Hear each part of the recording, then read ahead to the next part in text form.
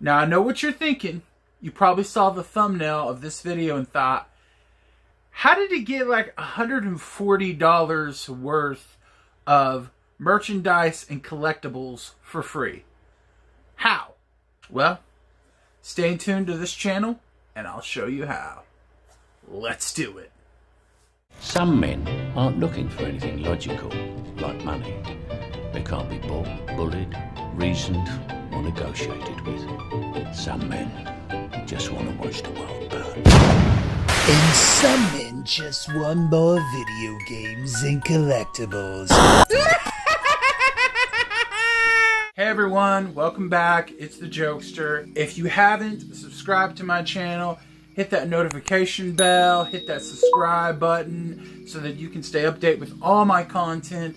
I'm thinking about actually doing a channel revamp, doing a little rebranding in the future, so look out for that. But today, you're here to find out how did I get 130 to 140 dollars worth of merchandise for free. Well, it came from Barnes and Noble, so I'm gonna open it up. We're gonna check out everything so you can see what I have, and then I'm gonna tell you exactly how. So the first item is a figure, and everything I got came in a box. Uh, I thought everything was gonna be shipped in one shipment, but it actually came in two. So the first thing we got is Frieza SH Figuarts. This figure looks absolutely awesome.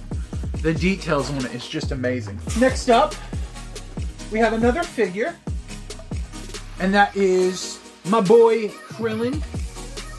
He's chilling, and he's getting it on with Android 18. He has the Destructo Disc, which is so cool. Destructo Disc! So cool! I love Krillin. Next up, we have more Dragon Ball, and that is Dragon Ball, the time I got reincarnated as Yamcha. I had to get it. I'm really interested in reading this, trying out. It's been a while since I had some new manga, so that's pretty cool. And then last uh, but not least, very, very, very important that I get, The Last Ronin. I've been hearing that this is just one of the best TMNT comics in a long, long time. Love the glossy finish on that. It's on the back too. Absolutely gorgeous. Hard book. Full color. Don't want to give any spoils, just a little peek inside. I'm going to tell you how I got it for free. I'm going to go step by step through it so you can see how I got all of this stuff for free without paying a single dime out of my own pocket. Let's hop to it. So my medical insurance has this cool program called Go365, where if you do certain things, you get rewarded gift cards. I have a Fitbit tied to my account, so it tracks my step. I, if I do eight days in a row walking a minimum of 500 steps, I get $5. I can do that two times in a month for a total of $10. But there's other things you can do, like social activities, spending time with friends and in the community, going to the doctor, getting a flu shot. You can see I got $30 from doing doctor appointments and other things like that. And I've been banking this to get $160. Now you can get physical cards and e-gift cards. So I chose e-gift cards because they come emailed to you in a day. I chose $160 of Barnes & Noble e-gift cards because they have action figures, manga, comics, and other kinds of collectibles. And I thought, why the heck not? I can get all this stuff for free instead of paying for it. A lot of this stuff I already wanted.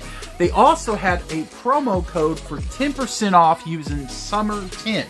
So, comboing that with the gift cards and the code, I was able to get everything that I purchased in this video for absolutely free.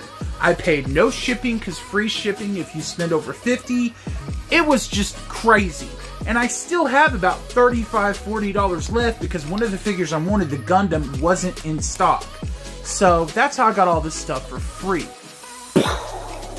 Absolutely amazing and mind-blowing, guys and girls. And remember, it's August. So counting this month and the remaining months of the year, that's five more months to earn a minimum of $10 just for taking 500 steps You do that going to the kitchen, taking a poop, taking your trash out, doing absolutely nothing, and you can do that.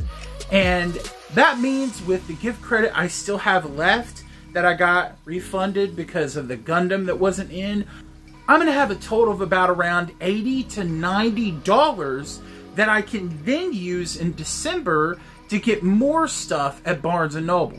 Maybe another action figure I didn't get because they still have Captain Ginyu, they have Tao Pai Pai, they have other mangas and comics that I would like to get. They even have Legos and Funko Pops on there. It's crazy. Now, my insurance used to have Amazon gift cards as an option, but they got rid of that. And the only thing they had on there besides Barnes & Noble was like Subway, Starbucks, IHOP. We have Subway, but I don't really, you know, Subway's just okay. I don't want to use that all on food because I'm fat enough as it is. And I need to lose some freaking weight. My mom says it all the damn time.